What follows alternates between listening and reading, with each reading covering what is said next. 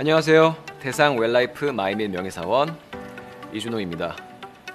이번에 마이밀 New Protein이 새롭게 바뀌었다고 해서 제가 대상 웰라이프 사옥에 방문했습니다. 패키지 디자인도 물론이고요. 한 손에 딱 쥐기 좋게 그립감도 높이면서 마이밀 팬분들을 위해서 더욱더 신경을 썼습니다.